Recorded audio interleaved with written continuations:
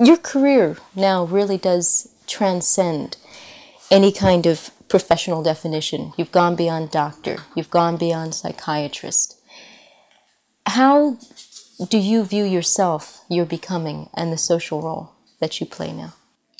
I always have not fit into the model of a doctor, or certainly not a psychiatrist.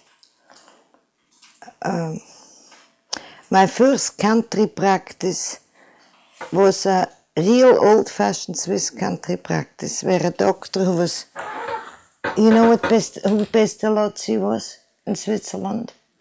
I know He- because he's I a- read your biography. He's a Swiss hero who started the first orphanages. And if somebody gives their shirt away, you call him a Pestalozzi. That's like a nickname. It has certain connotation to it. And uh, uh, this country doctor died, and he was known never to make a bill to a family more than once. If they didn't pay the bill, he never sent them a second bill because he understood that if they could pay, they would pay. But then came Christmas or harvest season, he would get apples or whatever.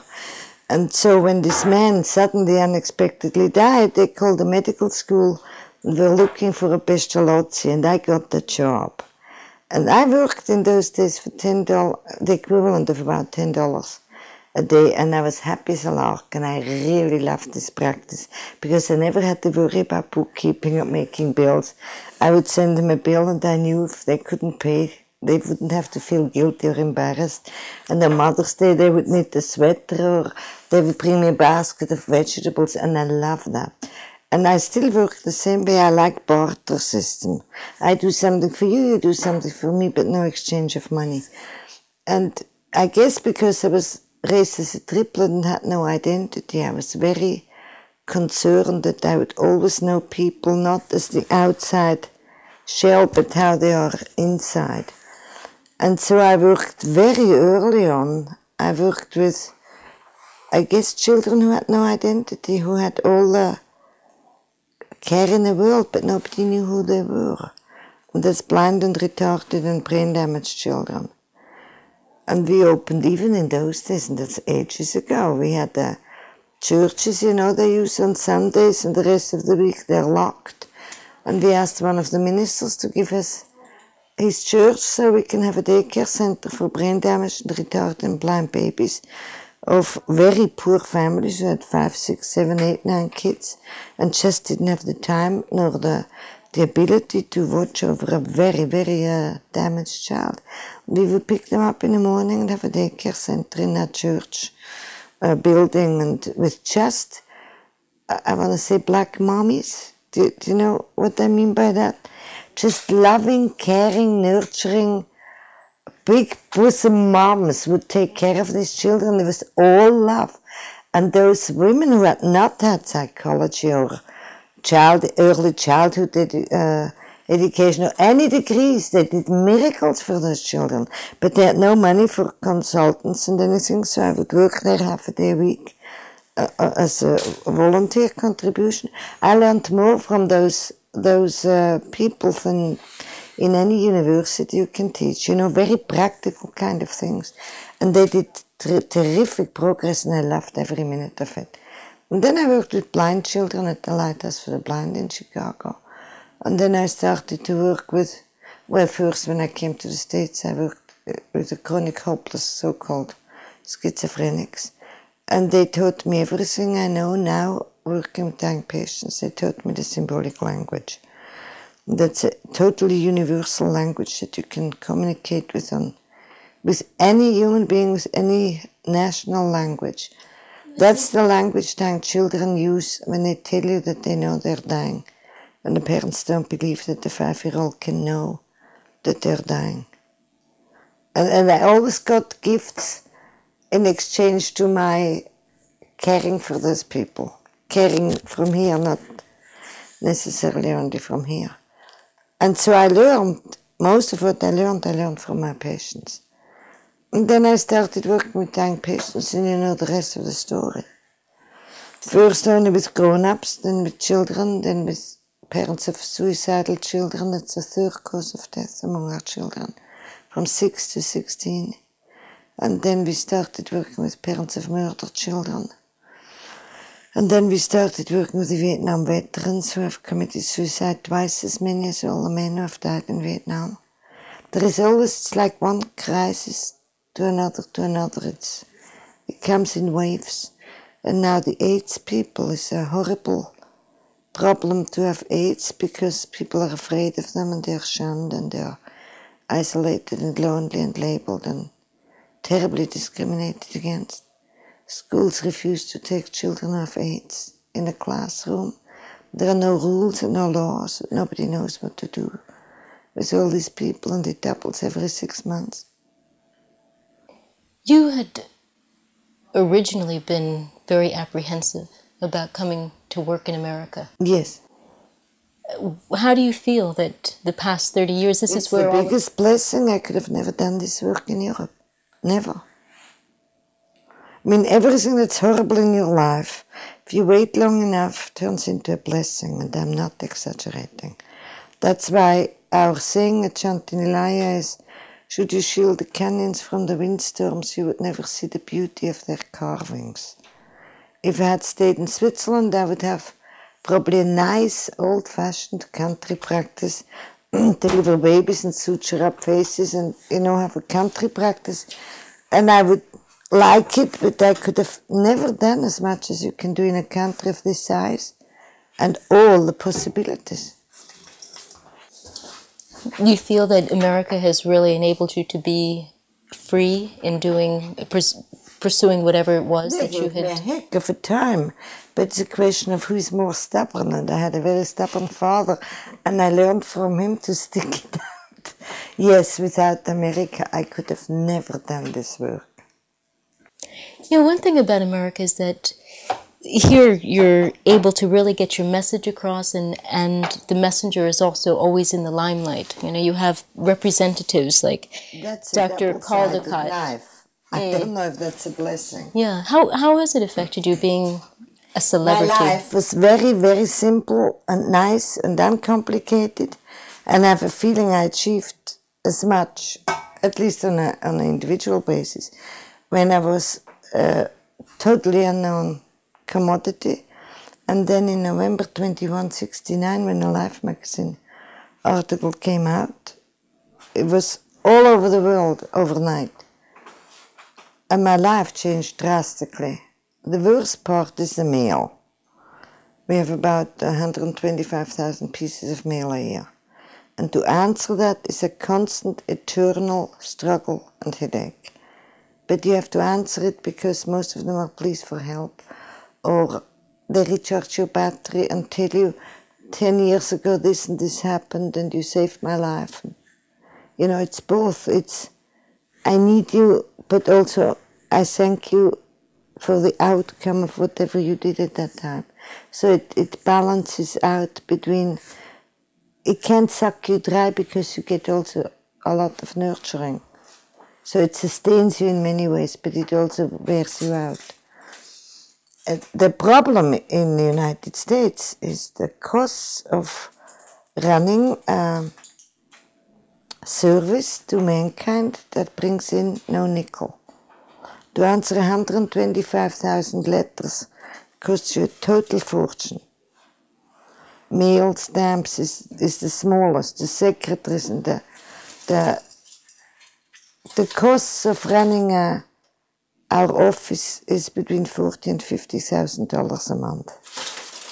And if you do a service without charge, it's it takes a genius to, to bring in that money. And we have no soliciting of, we have no grants, we have no foundation money, we have nothing. And that means you're doomed to lecture until it comes out of your ears.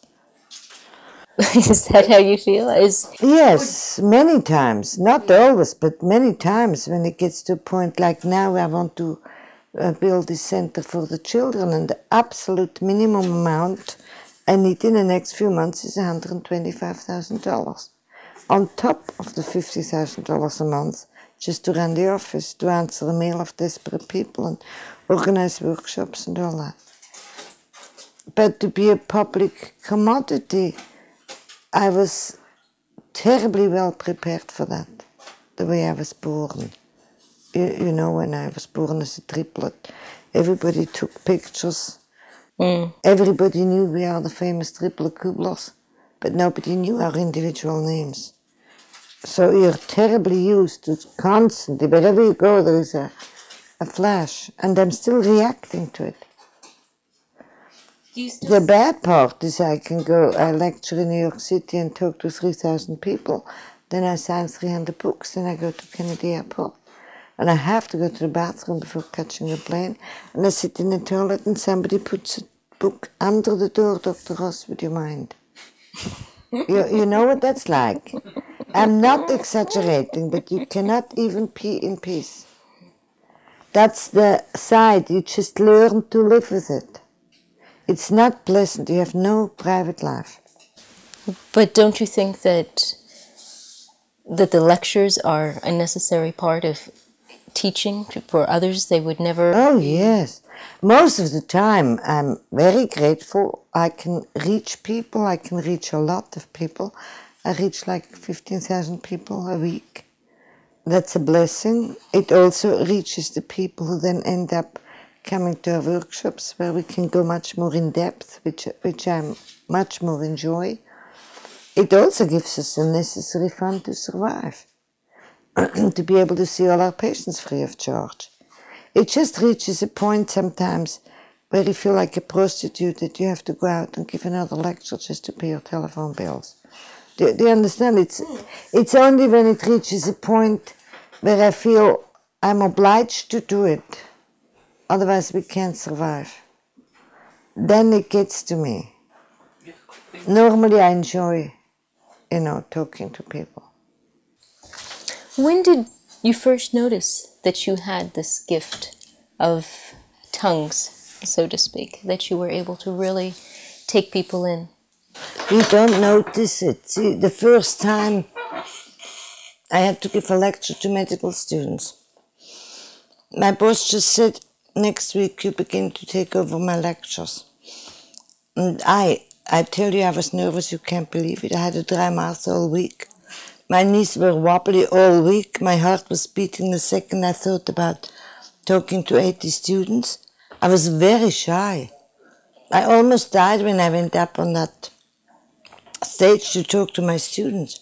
And the only thing that saved me from having a, not a nervous breakdown, but to just shiver, was that I thought I will talk for one hour and give a theoretical lecture. And then I give them a practical application of what I talked in theory. And they can verify it and check it out.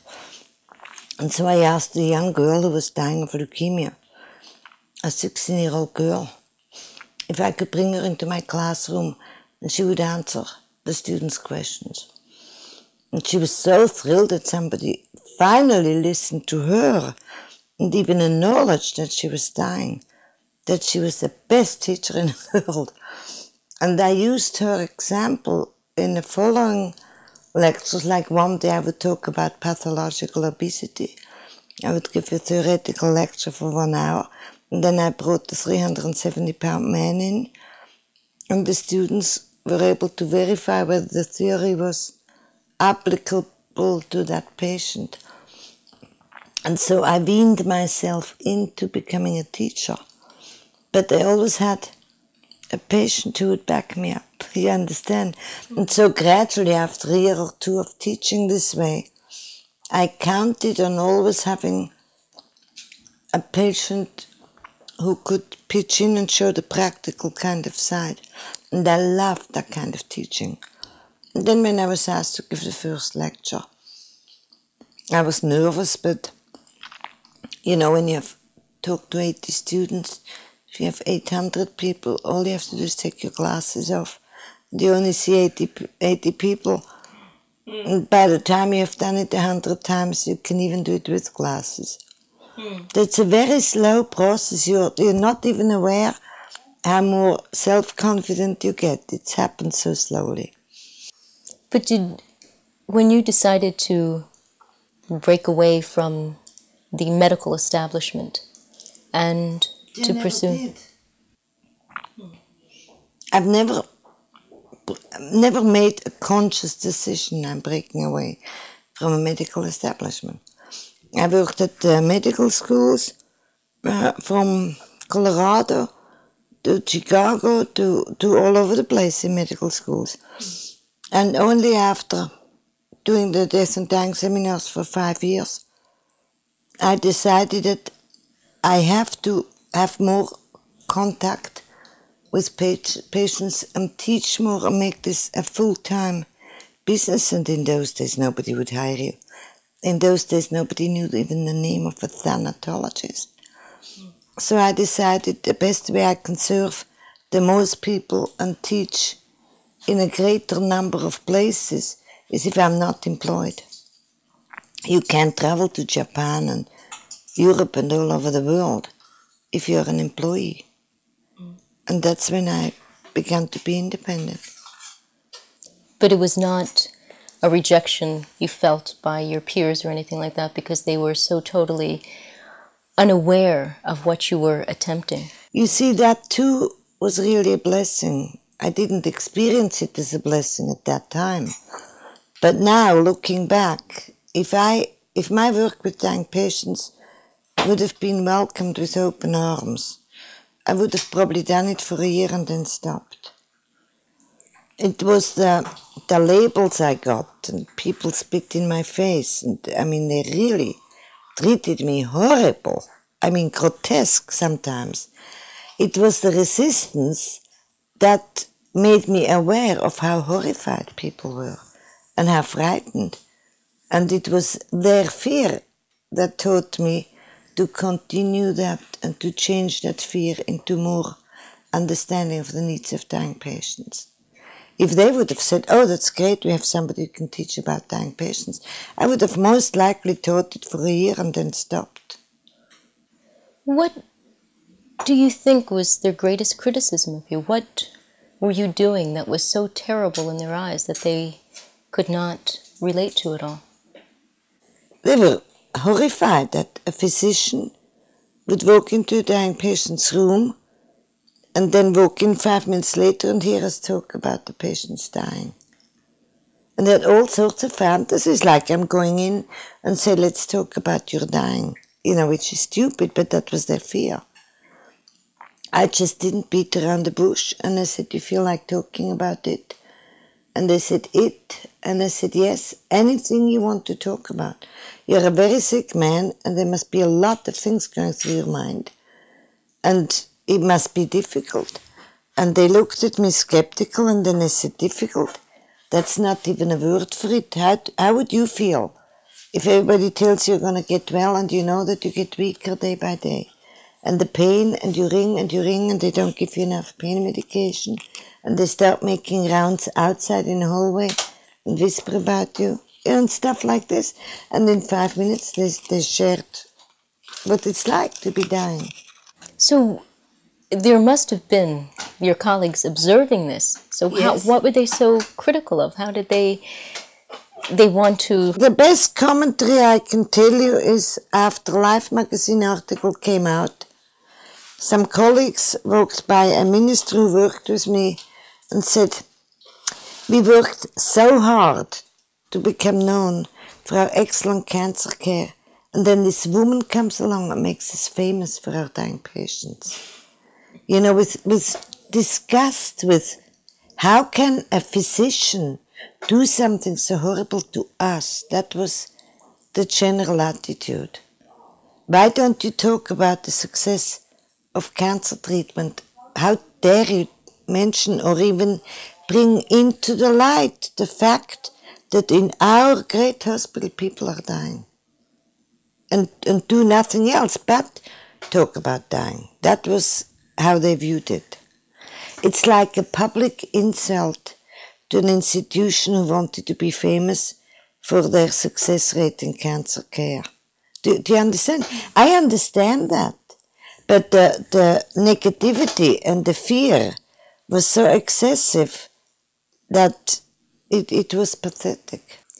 Do you think that that's more true in any kind of great technological society that there is greater fear of talking about death and dying because Yes, it's so more- unnatural? The more successful we are, I hate to say that, but I have to say it anyway, the more materialistic, the more technologically advanced and mechanistic uh, uh, societies, the less spiritual they are. And it's in direct proportion, what you call that? The more they are interested in that, the less they have an understanding of the other aspect of human life. And to bring the two together was my biggest success at the first university because I brought a real super duper whopper minister uh, into my classroom and we always interviewed total strangers. We've seen like two minutes to ask them if they would come to our classes. And the minister and I would interview them together. And he was a man and I was a woman, and he was black and I was white. And, and he was from theology and I was from medicine. And it was like a ping pong game where the ball never falls. And was really incredible. And the patients for the first time was able to share who they were as human beings, not how big is your liver and did your blood count go up or down, but just the whole human being shared. It was an incredible experience for medical students to see that. And now our whole work is to help people to become whole again, to consider the physical, the emotional, the intellectual, and the spiritual quadrant. And you are whole and you're healthy when those four quadrants are in harmony together. And that was a very, um you understand, none of this was planned, this just happened. When you listen to your gut reaction, things just happen and unfold. And that was a very clumsy but very practical attempt to bring the two sides together. And that too was frowned upon, you know. But now everybody's copying it. I was spit in the face, I was called a vulture, and 10 years later, the same institutions gave me 18 or 19 or 20, I don't know how many honorary doctor degrees. All you have to do literally is to stick it out. And after about a decade or two decades, you see that the hardest time in your life were your biggest blessings. Do you understand? If they wouldn't have been so nasty with me, I would have probably been bored and I would have found another area that needs to. But at the at the same time that the alternative health movement is growing, so are our hospitals and hospital chains. What do you see as a way of changing the hospital structure within? You cannot change an institution or a hospital structure or a school system or, or a prison system or anything if you don't start with the individual human being. The only way you can bring change about is by individual human being becoming honest again as a child and look at their own Hitler and get rid of their Hitler, then they can become Mother Teresa.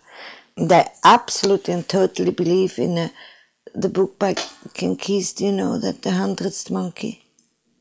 Oh, no. You have to read it. It's an absolute must. It's a tiny, you don't know The Hundredth Monkey? Ken Keyes, you have to read it. It's a tiny little booklet. It was a psychological study. And I'm not, if you write that, I'm not quoting it right. I'm just quoting it the way I understood it. it's a long time since I read it. They found out in a Pacific island that they studied a certain brand of monkeys. And they watched a monkey suddenly picking a sweet potato and go to the ocean and wash the sweet potato before he ate it.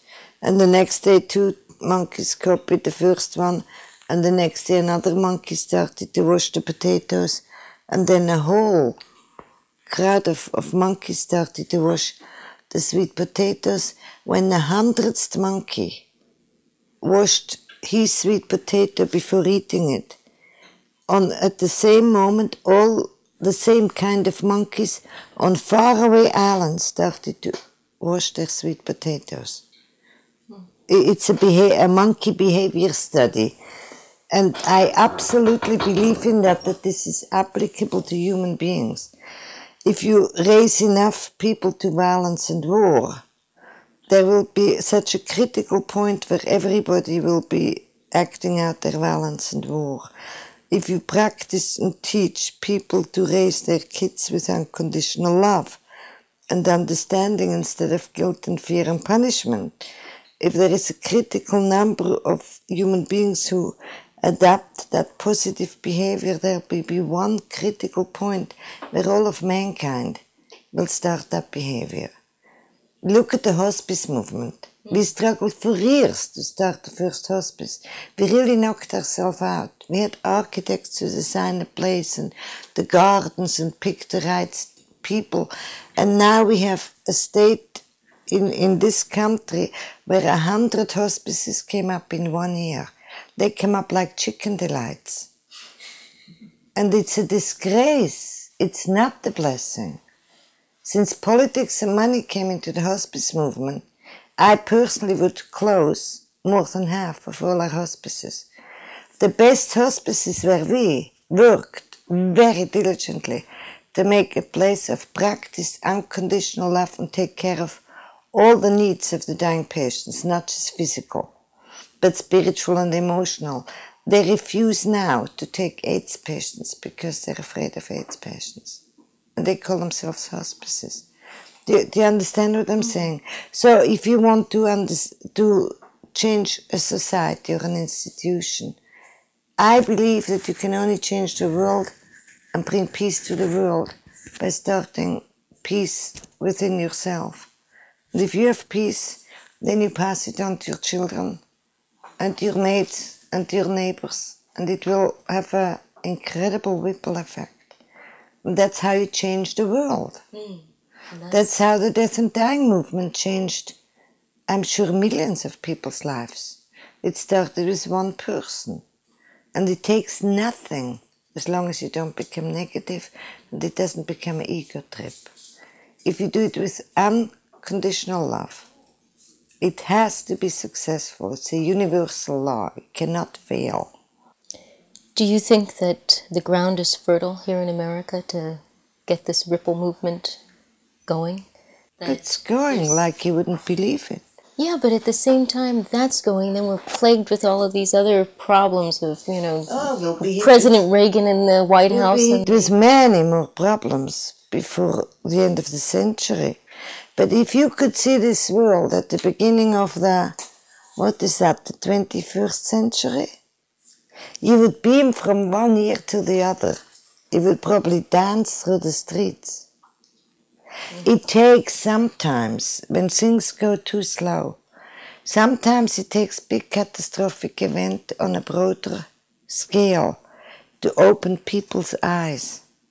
And AIDS is one of these catalysts that will literally separate people if they are human beings who care for their fellow man, irrelevant of what color or creed or sexuality or, or whatever they are, and will take care of their fellow man, or if they bury themselves in fear and condemn and become more negative and more frightened therefore also more sick.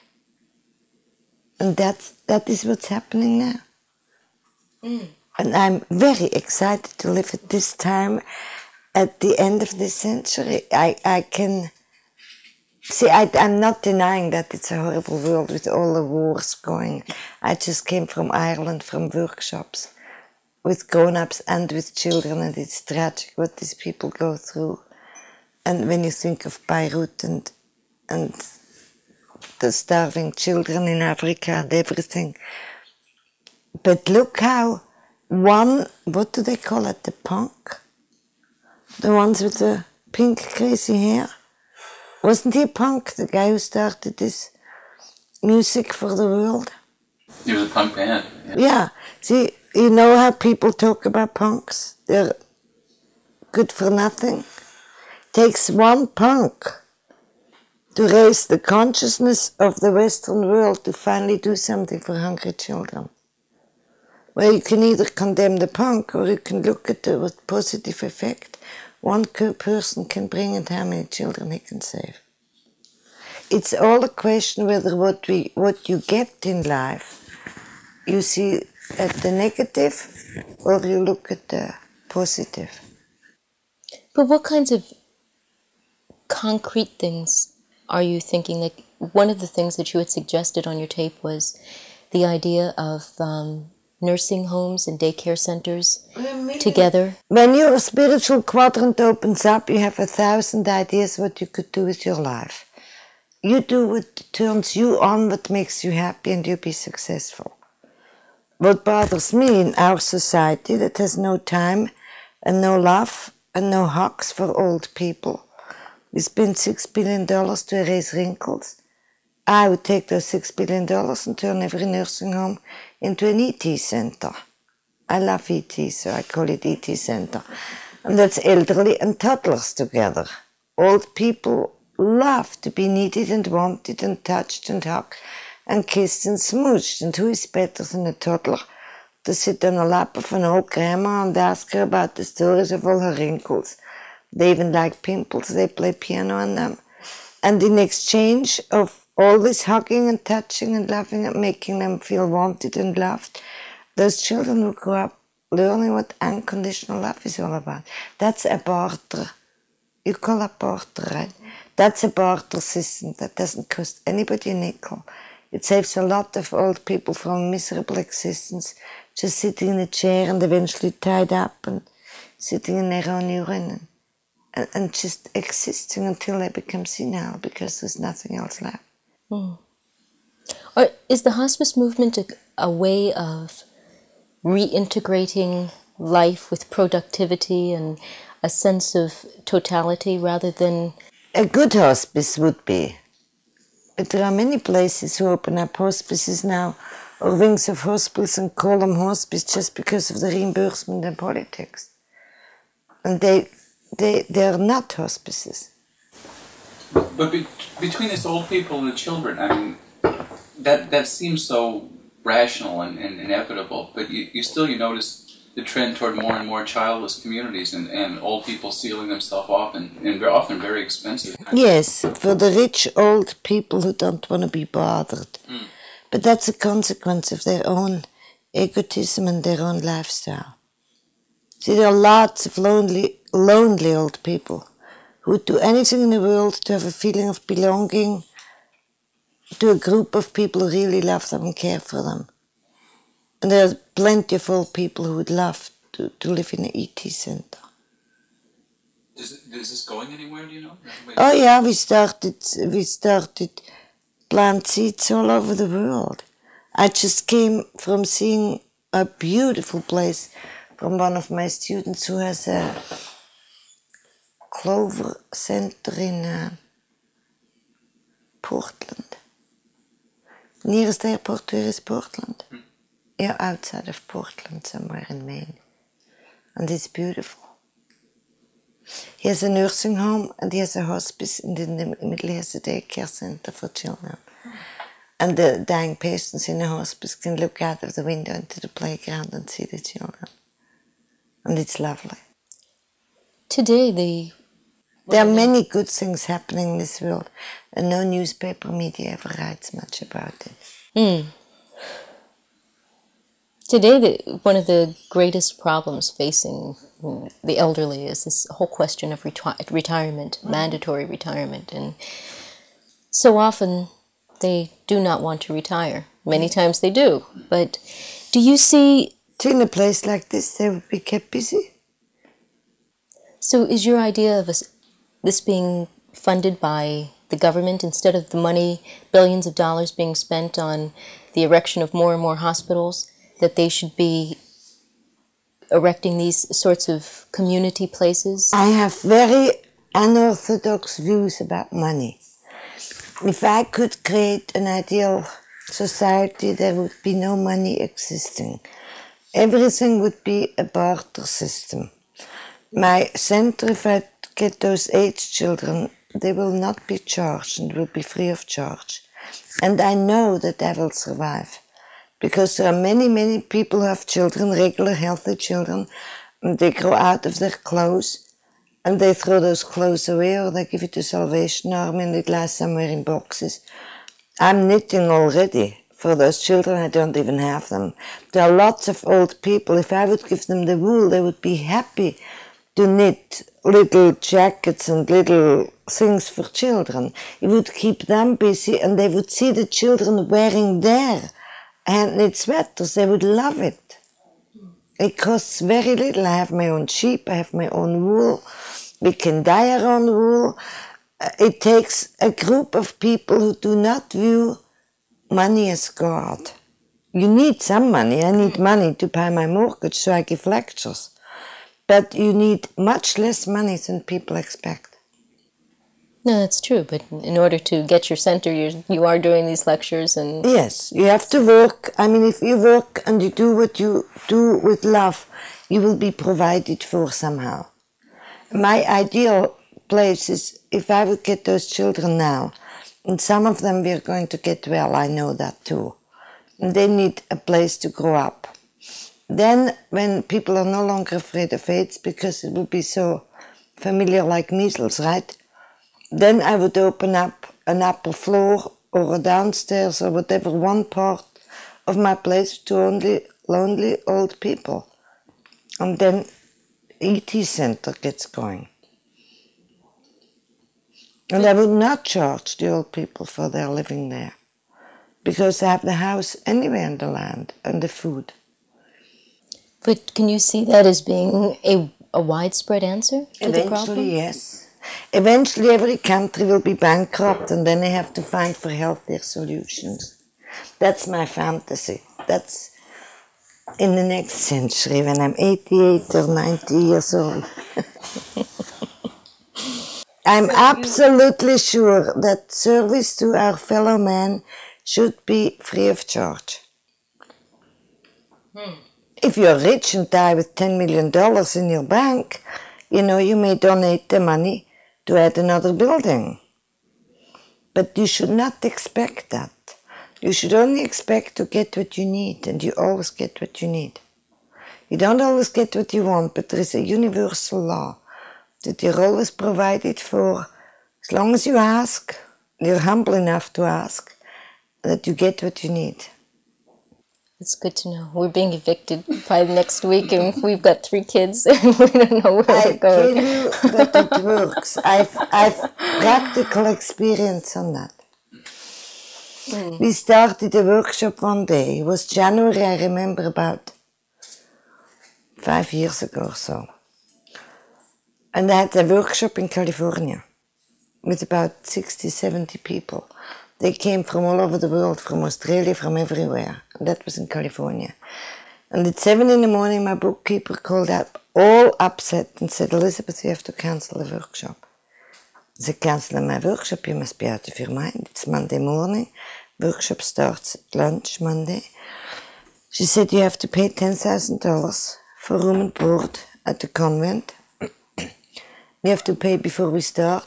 Anyway, she called up and said, I have to cancel. We don't have the $10,000. We have to pay for a week board, and we have to pay ahead of time. And she said, and besides, it's payday today, and we don't have the payroll. And they said, the payroll, they just have to wait a day or two.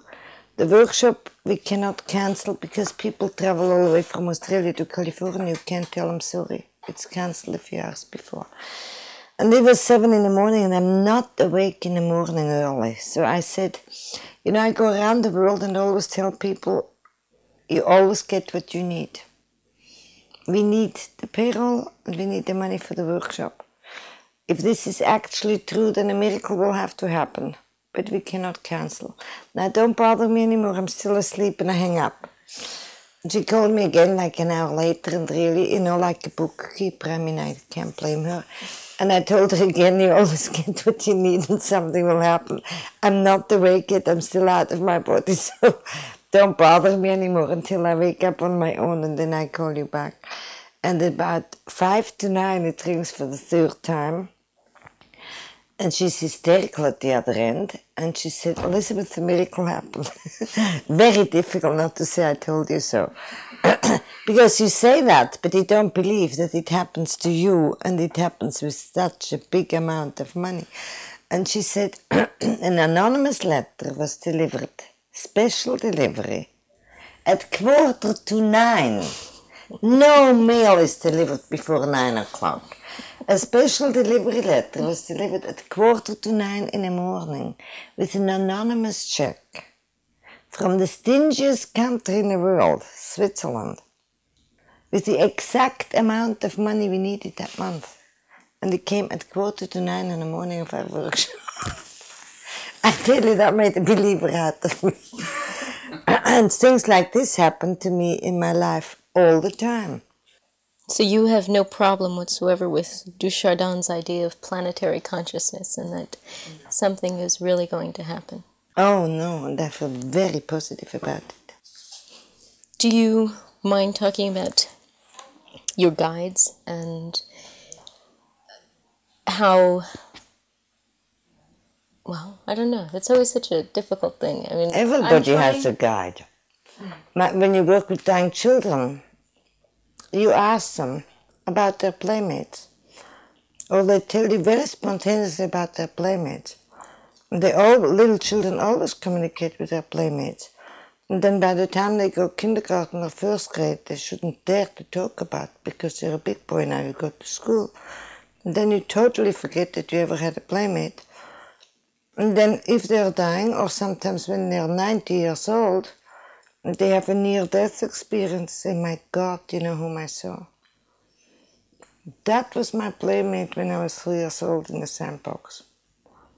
And the instant recognition and love and understanding and knowing each other and familiarity.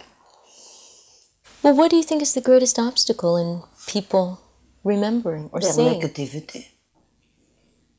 Have you ever seen grown-ups in the Western world encouraging children to talk about their playmate?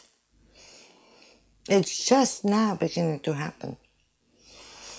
I had a little Cory in, in Seattle who died about six weeks ago. He was an old, wise soul. I mean, you looked at this child, you had the feeling you talked to a 90 year old man. And he was ill for many years. About half of his life he had leukemia. He talked about his guides and his helpers like he would talk about this zucchini bread. And his mother was totally open to it. And shortly before he died, he had a near death experience. And he was so excited. He said, Elisabeth, I have to draw you a picture of what it's like on the other side.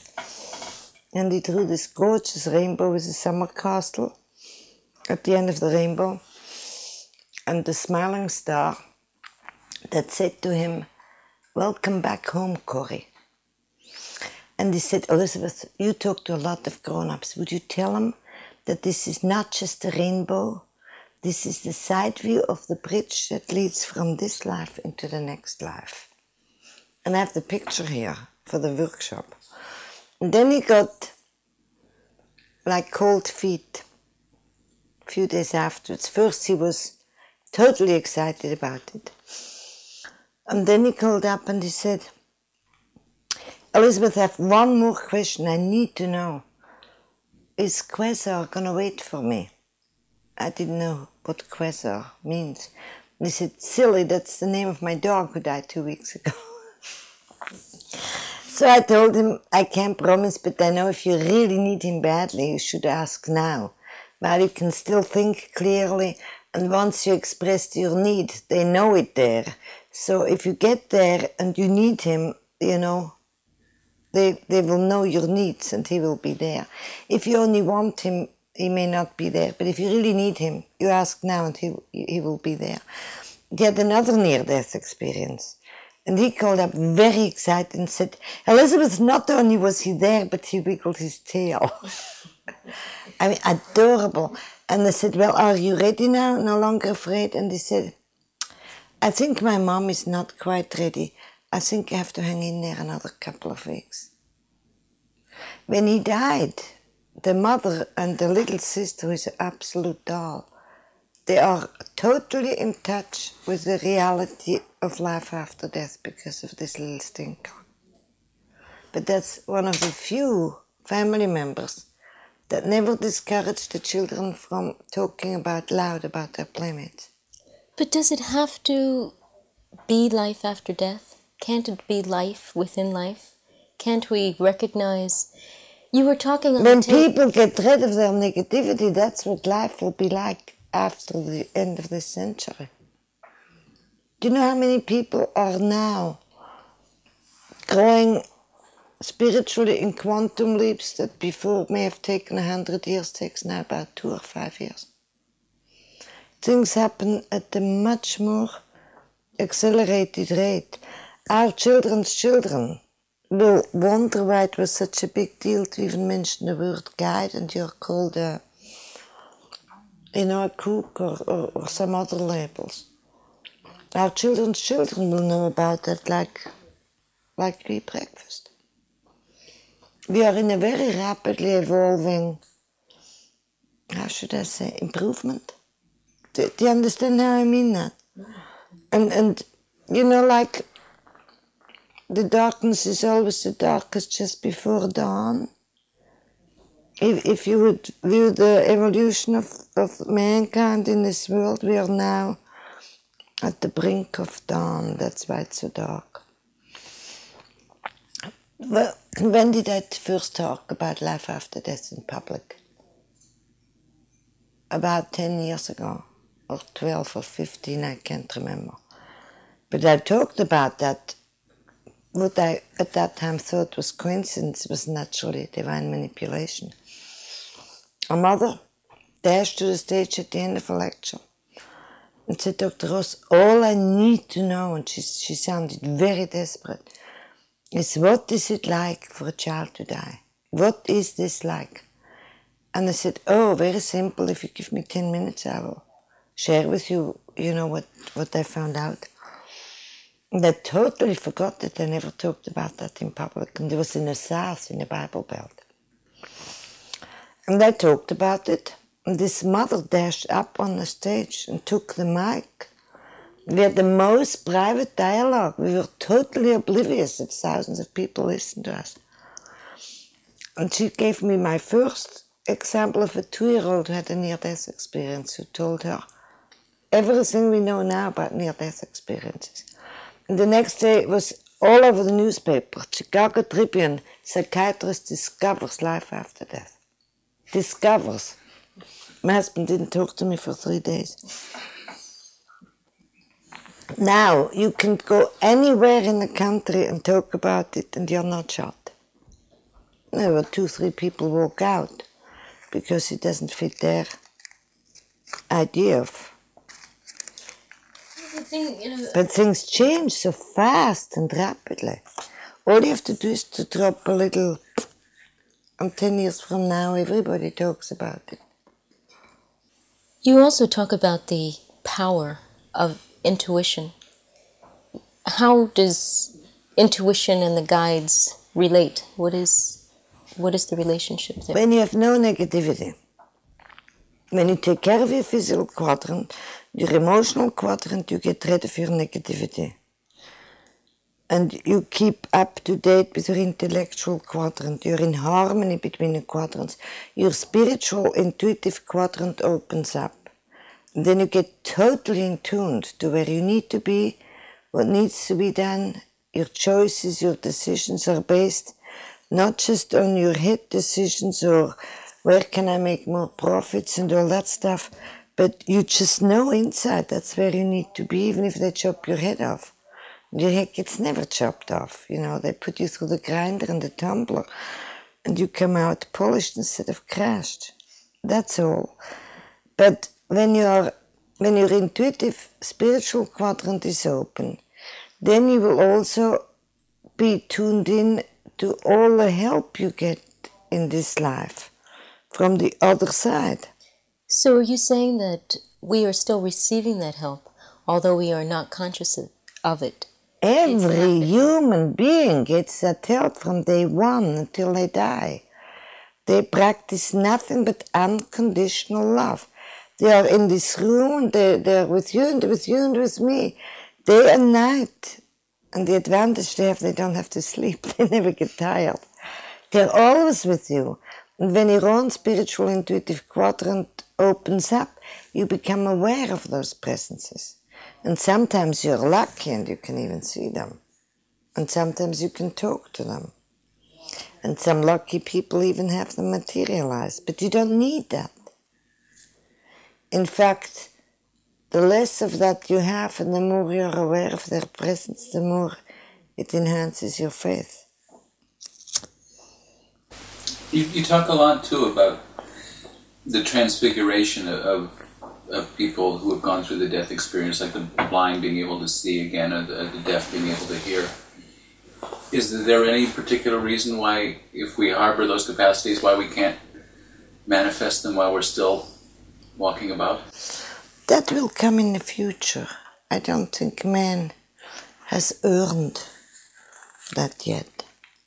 Does he have to earn as a civilization or individual by individual? It's all civilization always starts with individuals. So it's like if you would look at humanity, some people are in kindergarten, some in third grade, and some in high school, and some at university. And the more you evolve and develop, the more gifts you get, but also the harder are the tests that you have to go through. The tests get not easier but harder, but you can also take them better. Do, do you understand how I mean that? Mm. You can heal. You can heal. I can heal. Everybody can heal. But you can't heal because of your own doubts. Mm-hmm. Once you get rid of that, you can heal. So these workshops and, and most of your work is a way just of, of sloughing off the... To open up their spiritual quadrant and get rid of their unfinished business. But 82 to 92 percent of all workshop participants have a positive permanent life change, statistically measured. And the ones who don't are too afraid and block off and close up or they're not quite ready yet and they come a year or two years later and then they're ready. Doesn't mean they're, you know, the ones who make it are better than the ones who don't make it. It's just a question of of time, like you wouldn't teach a first grader high school math. Everybody will make it eventually. Is there also awareness of, of the time to die that comes with that? Oh yes, everybody knows when they die. Even even young kids who have a traffic accident know before that happens that they die. Everybody knows. Five, six year olds who die now. But isn't the technology interfering with what the perception would be would be your natural lifespan and all of a sudden the doctors come in and say we are going to sustain you beyond all you know. No, see they know that they're dying, but they don't know it here. They don't know it intellectually. That's your intuitive spiritual quadrant that knows. And the more tuned in you are to your own inner knowledge, the more you begin to be consciously aware of it. But I've had kids who died within a second from accidents and things like this. When you look at their drawing before the accident, you can see in a drawing that they knew not only that they're going to die, but how they're going to die. It's, it seems... But to get in touch with your. Uh, to, to me, the spiritual quadrant is that spark of God that is planted in all human beings at birth, that has all knowledge. You have all knowledge, and you and I, but to get in touch with that knowledge, you only get in touch you know, bits by bits by bits by bits. And the more you open up your spiritual quadrant, the more tuned in you are and the more you know, quote unquote. It's not an intellectual knowledge, it's a spiritual intuitive knowledge. And if you trust that inner knowledge, then you grow in quantum leaps, and then your life is never the same. And then you fall back again and you fall into a crevice and you have to climb out again. And the more crevices you fall in, the stronger your muscles. it just seems like in some cultures that there are people who have manifested that kind of thing with some regularity. I mean, consciously. Like in, in I spent some years in India, and there were There are always some people who are a quantum leap year ahead of us.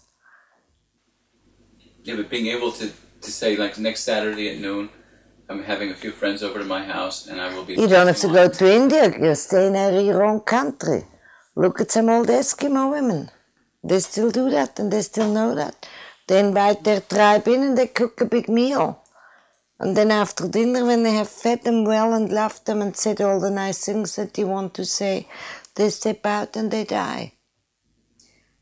You don't have to go so far. See, there are such old wise people in every culture. But uh, this culture, despite all its economic and educational, it, its height seems to manifest that less often than places like the Na- Eskimos or India. naturally, you know, why people incarnate in these societies to learn lessons about making money or something else and not spiritual growth. Everybody picks their own environment where they learn that aspect of life that they limp behind. It seems that in this culture in particular, we are pretty familiar with the idea of death. I don't know much what happened before 1969, but certainly in my upbringing, you know, my mother died right in my my home.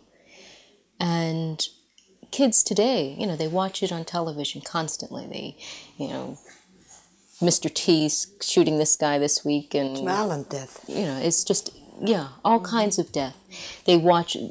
The media is full of death. Of violence. Yes, of violence, and It's a different. but the thing is, is that we are very familiar with the idea of the possibility of our demise. There's not every child knows, you know, that he can die, but the idea of getting old is something that is so separate from our reality. That's something that's in the future, something so far out there. It's almost the same as eternity somehow. You just you, there's no way to relate to that. So today in this society, how can we bring this idea of aging with respect, giving purposefulness to the aged, you know, letting them have a rightful place in society, let them share again. Now we're just putting them out to pasture, basically. This is a very production oriented country. As long as you're productive, means you bring in money, you're a wanted employee. When you get slower and older and think a little slower, you're put out or early retirement or whatever you have. So old age is associated with loss of dignity, loss of respect, loss of good looks, loss of youth, loss of uh, you know how they all jog and exercise and you know those those groups that come up all over they make a fortune with body uh, exercising machines so you should look young and healthy and superman and superwoman. When you're old and you get a little floppy and you have hanging bosom and you have a big fat tush and you don't look the american image of, of youth then you are we have to change our whole attitude about what is beautiful and what is acceptable and what is valuable. But if you raise a generation of children that learn unconditional love, not I love you if you look beautiful and I love you if you bring in money and I love you if make good grades and like God, would I love you if I can say my son a doctor. If you raise a whole generation in a healthy, natural way, not normal, what is very unhealthy, then people would not be afraid of old age. Then they would see old age as wisdom and life experiences and a grandma who can love the grandchildren unconditionally and a lot of positive things. It's just, you know, I in doing this research and David and I is you didn't see the letter, but we sat down, and this has been pretty much the case ever since we've been together. I together. picked you out of about 25 interviews totally blind. And it did not come from here, I can swear you, because I never read what you wrote. We were we preparing to come all the way to Escondido to interview you. We read in the paper the next week that you were going to show up here. We live 10 miles from here. You think that's it's a 60,000 coincidence? mile trip. No. That's divine manipulation. afraid of it anymore. This is what's happened to us Yeah. constantly. Well, ever so since we don't worry about together. eviction. No, we're not. We're here enjoying ourselves, having, you know. But it was, it was just amazing, you know, that you're here, I'm here. It's all wonderful. But the, the thing that's, I'm really starting to become aware of, a whole new category of human being. I've I've just been reading constantly the last few weeks, and and I think that we've got you know I would like to know how to begin, how to organize, how to disseminate some of these ideas, so that it's not going The to ultimately The interesting thing is that you don't have to do anything, you don't have to plan anything, you don't even have to know what you're doing next year. I have never done any of those things. If anybody would have told me 20 years ago that I talk about life after death, I would have dropped dead. I mean, totally dropped dead. If you do today what feels right, and you're not afraid what people think about you or say about you, and you just do today, can be a small thing. Help a neighbor clean the kitchen. Whatever it is. And if you're open to follow your own, I used to call it gut reaction. Now I say it in intuitive, spiritual quadrant. If you just do what feels right today, tomorrow will be super and you do the same thing and the same thing and will lead, lead you where you need to be and teach you what you need to learn and to teach. I never made plans. I'm going to work with blind retard and then with schizophrenics and then with dying grown-ups and then I go to children and then if anybody would have told me that I would have thought they're you know a little Yeah, but at the same time, you've you've always really fought for your you have to be determined to do what feels right and if you do that you will have lots of obstacles but you will always get enough nurturing to keep you going my dying patients were so incredible helpers because every time they would, like in the hallway, they would make these nasty remarks and they would give me a hard time. And I would walk into a room of a dying patient and they pressed my hand without saying a word. They looked at me and all their whole soul said, Thank you for being here. And, and I said, you know, why should I worry about this snotty residents or this, this uh, nasty nurse? If I get one look in a year of a patient like this, then I know I'm a physician. Do, do you understand? You, you get very little spoiled. You get just enough to sustain you, but you will always get what you need. I cannot emphasize that enough. Yeah, he's man is that's his life. Yeah. And I have to believe because he's brought me along and I it's give. working. I don't know if I was on that tape, but you remember the story of the woman who pulled my blouse at San Francisco airport. I lectured for three days and I was hoarse. I had to talk from nine in the morning till nine o'clock at night. Three days in a row with air conditioners blowing. And I'm very allergic, not allergic, medically speaking, but I can't stand air conditioners blowing. And I get hoarse quickly after I talk for three days non-stop. And with the air conditioners. And I was hoarse at the San Francisco airport. I was on the last flight to San Diego. Had to unpack my suitcase, do the laundry, repack, and leave the next morning for Europe. So after seeing endless number of patients and lectures, I usually, when I'm at the gate and my plane is there, I begin to switch gears and I concentrate, you know, what I have to pack tomorrow and how I get the laundry done and whatnot. And I already switched gears and the plane was about five minutes before departure. The woman comes and pulls my blouse and says, Dr. Ross, all I wanted to say, no, my name is Mary Smith. And this woman knew that instantly. I didn't say one word, but I obviously was not open. And she said, in October we lost our one and only son, nine years old, of cancer. And two weeks afterwards, our 11 year old daughter was diagnosed to be full of cancer beyond any treatment. And we are so angry at her, she didn't even allow us to mourn for our one and only son. Every time we walk into a room, we yell at her and we get into a fight. And you understand? She felt terribly guilty about that. She knew up here that this is a horrible behavior of her supposedly loving parents, but they just couldn't help it. And there was so much despair and please help us. And now five minutes before the plane boards or leaves. And all I did, and I don't even call that the prayer, I just thought to myself, God, if I had one hour right here, right now, I could take care of both things. I swear in 30 seconds the loudspeaker came and said, very matter of fact voice, uh, flight 83 is delayed by one hour. I almost passed out. We sat on the floor at the gate, or on a similar kind of carpet, and did what we had to do. And I left for Europe, and this mother is now helping more parents of you know, multiple cancer uh, children. They probably lived on a dump of radioactive something because all their children died in six months of different kinds of cancers. But it works, I tell you. And you don't have to fold your hands and go on your knees and make long, complicated formal prayers. All you have to express your need. And if you really need it, it happens.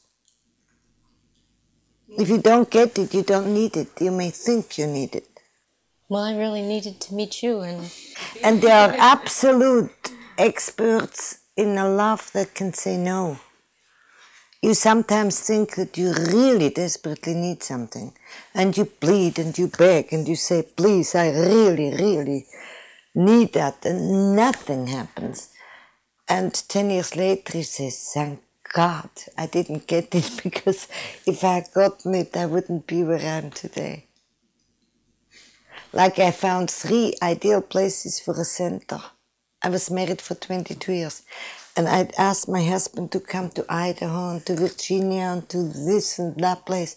I found the ideal farm for a center. I had no idea what center. I just knew I had to get a piece of land with a farm to build a center, but I had no idea what it was. And many times I dragged him to gorgeous places, you know, which looking back now would have been much less expensive. And he liked it and he loved it. And the minute before I was ready to sign a contract, he vetoed it. And now I know that this would not have been the right time. I just got in touch intuitively with, with what was to be in the future, but the time would not have been right one of the main reasons uh, that this article is it's about, for the lack of a word, geriactivism, getting old people back into life and getting them re-involved not only in their own problems, which are sufficient, but reaching out back into society again. You have to organize programs where old people are allowed to live, and to live means to be allowed and able to give and take. Nursing homes are geared towards giving the old people their basic needs room, board, slippers, television set, whatever. And that is not good enough.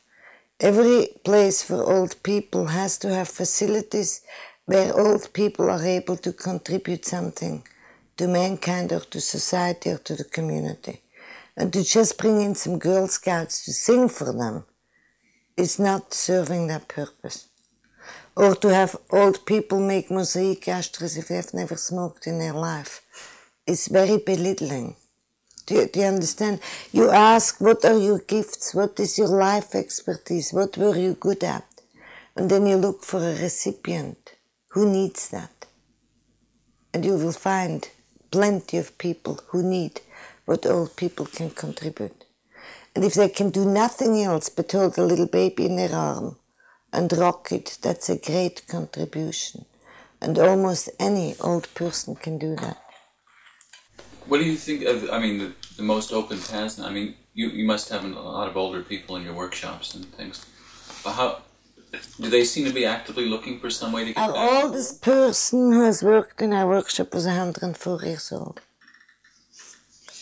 They get rid of a lot of old unfinished business. This woman died two weeks later had an old woman who started writing a book. The title was uh, Today I Go Adventuring. She started writing poetry, how you can adventure into a life between 80 and 90. She was blind on top of it. If you have a gift of language, you use that. If you have a gift of geography, you get the kids together and they teach them what they learn in traveling to the Antarctic or whatever. They're always recipients, especially if you're not charging. I'm, I'm serious because an old wood carver, do you know how great it would be for kids who grow up without a dad to have a grandpa who can teach them how to carve wood? There are so many things they can do. But do you see that this this thing about the society now? The kids have all become interested not in. I mean, in simpler societies, the kids are interested in what they're going to be doing with their lives, and the old people are a resource because they know the history, they know the tales, they know the trades. Do not emphasize what is not or what kids don't want or don't have. Try to emphasize on what is available and then look for those who are willing to accept it. There may be 1%, and in the next decade there will be 10%, in 25 years, 100%.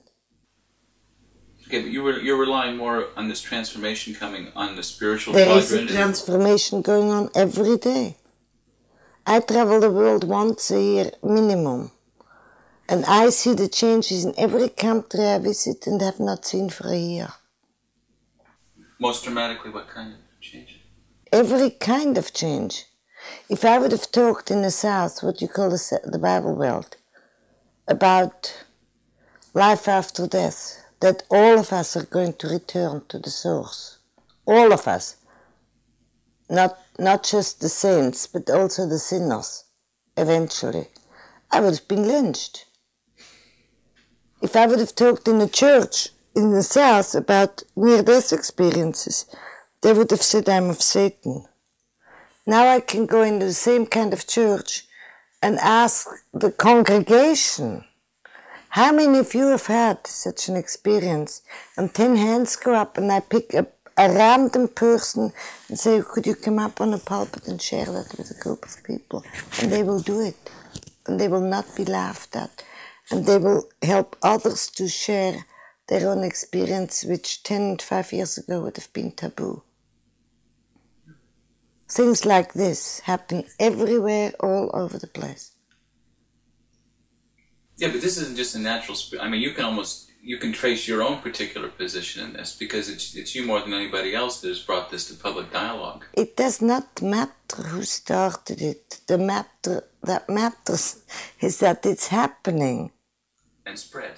And spreads every day, everywhere. And do, do you leave the manner of spread and dissemination up to? The Divine evolution of the planet. manipulation. now, I just wonder if, if you have any sense of politics in this. That there's things people can do politically or socially that are also going to assist this. If you switch that off, I will tell you something in two minutes. This is where you least expect it. But do you see any way you can consciously be ready for it or maximize the? You can only help the world and this planet Earth that has been almost destroyed by changing yourself. Because if you practice that, it will have a ripple effect that's always stronger than the negative forces that are very predominant now in this country and will become stronger and more vicious. Now, Yes. Out of fear, naturally. Well, this is definitely a fear that David has had, and and I don't know. It's um. He has. But it's necessary. If you want a diamond out of a piece of rock, what do you do? You put it in a tumbler. And you rock it and smash it around, and what's no good is going to fall apart into sand, and the good part will get more and more till it becomes a diamond. I'm exaggerating because that's not how you make diamonds, but I'm, I'm using symbolic language. I always tell people in the workshops if your life puts you into a tumbler, your choice is whether you come out crashed or polished. It's all a matter of your choice. And if you get polished, then you're ready for everything that's gonna come. And you will literally rejoice and you have nothing to fear. The only thing that, that drives you crazy with the urgency of it, though, I mean, in America, it seems like and there, there is a, there's a, obviously an underclass in the poor who have things happen to them rather than actually being able to do things about their lives. But here, I mean, there's so many different kinds of therapies. There's so many different kinds of groups where people are trying to get in touch with themselves or build their minds or their bodies or their spirits. And yet, what what really, when you travel around the world, as you've had, you know that in Africa or in India, while everybody here is polishing the finer points of their spirit, they're, they're just dying in the streets there.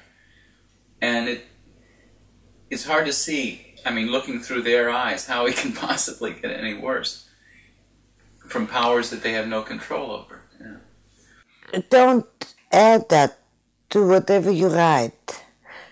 Okay? Mm. I asked one of my guides who said to me he wants to be born, he wants to live one more physical life. And I said, You must be an idiot to choose to live in this earth with all these headaches and problems when you can be in a gorgeous place. And with incredible love, he said to me, I'm going to choose to be born as a child and die of starvation as a child. I'm very blunt. I said to him, You know, you must really be sick to choose such a life. Now, what possible positive purpose could that have? And he said with great compassion and understanding, and not at all upset how, how disrespectful I talked to him, he said it would enhance my compassion. Do you know how these starving children in Ethiopia or wherever they are now? enhance the compassion of the United States. People who never shared a nickel of their wealth are now putting in thousands of dollars for food. And you think that has no purpose? I've always thought that American. Do, do you understand what I'm saying? Experience. You have no idea how how a starving child, for example, that you see on television with your own eyes, what this does to some cold cookies who all worried about is the stock exchange. And that serves no purpose. And they come in for three years. This is for them like a blinking of an eyelid, and then they can go back home and see the effects of their short life. You know, we, we look at things much too much with our na- narrow time limit and viewpoint, but we don't see the the consequences of all these things happening now, the long distance consequences. Yeah, but if you open out on the sides too, and this is the thing where I don't know if Kathy asked you before, but this is something that's always really upset me is the way people in the busyness of their lives usually have maybe 10 or 20 percent that they can set aside for the world or society or politics or whatever it is. And now it, it seems like there's so many quote unquote good causes. There's, I mean, there's the African problem, there's the Central American problem. There's, there's a million problems. What's the problem? So, where, eh, how do you devote your 10% of, of social planetary duty? It makes absolutely no difference if you're nice to a cleaning woman or to a street cleaner or to your neighbor.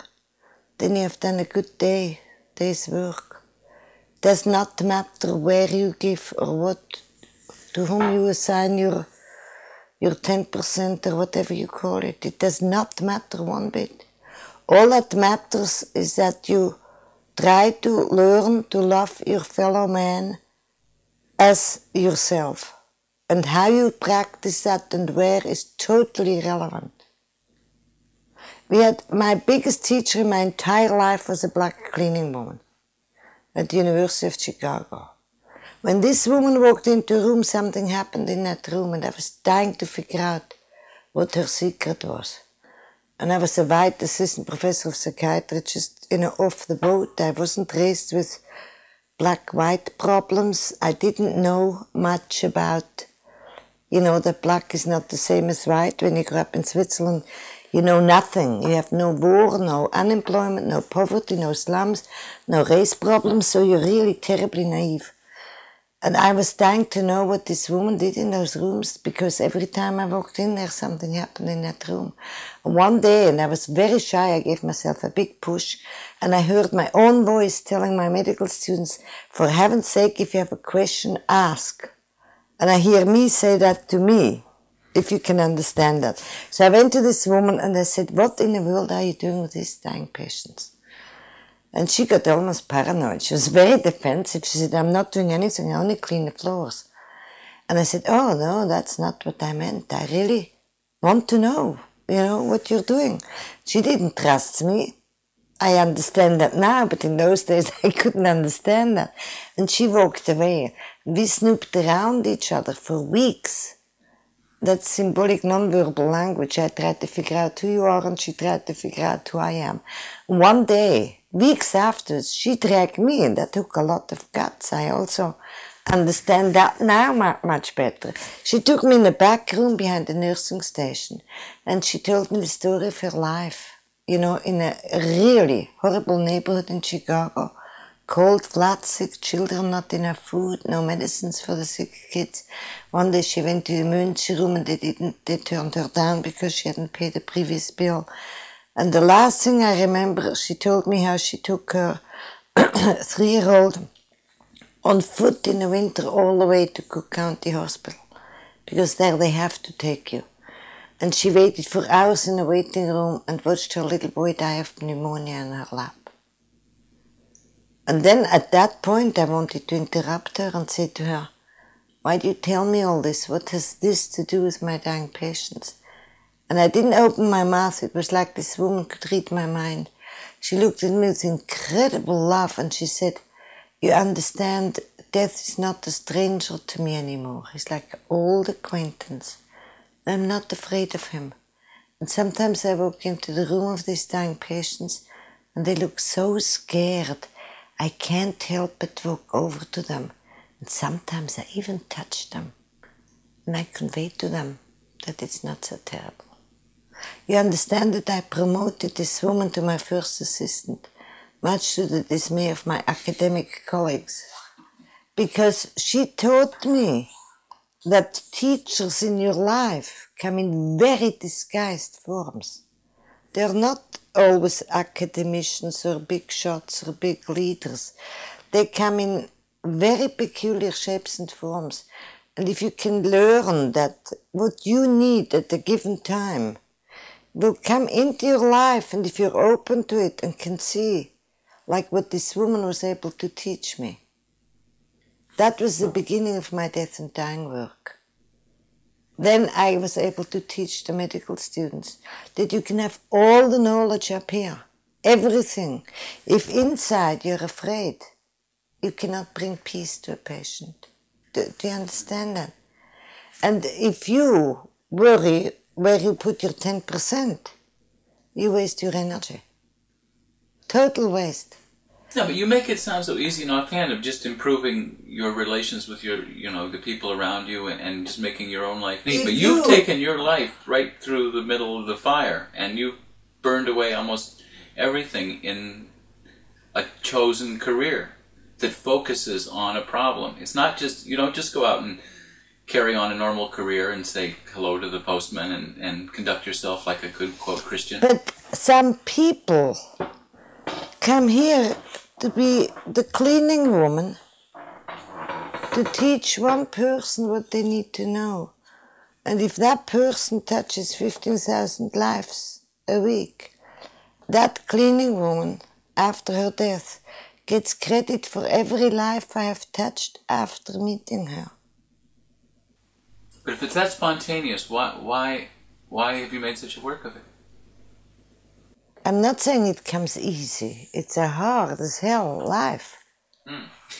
And it gets harder, not easier. I said that, I think, at the beginning. But it also gets easier. The tests that are thrown at you, if, if I would have had to go through what I went through the last seven years, I would have hanged myself on the next tree every day. But by the time that comes, you make it again. It's like a mountain climber. You cannot climb the Matterhorn or the Mount Everest, the first time you go climbing, you start with a little more hill and then a bigger hill and then a bigger mountain and then a real big ones. And they are harder and more challenging and more difficult, but it's also easier because you have already gone through the first grade and the second grade and the third grade. Do you understand how I mean that? But people should not think and worry. I think if people would live 90% in the now and 10% in the future, it would be much easier. Hmm. You learn that as you get older, I guess. But for old people wanting wanting to get their fingers back into life again, Then they make it known that they want their fingers back into life again and the door will open to them. But the door shuts so often that I think that so many of them have just kind of given up. Yeah, but see, that's a consequence of their choice to give up. Our life, our biggest gift as human beings is free choice. Those who die or who, who age um, well, can you say that? Those who have an old age that they live are people who have lived well all their life. If you have worked and shared and given, you have so much support and so many memories that sustain you when you can't do things anymore, that they will enrich your life. And if you have lived a very uh, self centered, demanding life, and then you're left alone in old age, it is miserable. And the same thing goes for dying. If you have lived well, you're not afraid of dying, nor of aging. And I think old age care should not start in old age, it should start very young in life. You should develop hobbies. You should give and share, then it will come back manyfold. Not only when you're well and healthy and young, but also when you're old. To me, the whole separation to gerontology and thanatology and God knows what is very artificial. Did you read that adorable photo book called Gramps? Look at it, find it. It's a photo book, very few words. It's a young, no, it's an old grandfather who walks through the forest with his grandson, very proud. That's the first picture in the book. It's a story of the family, very simple family, I think from Maine even.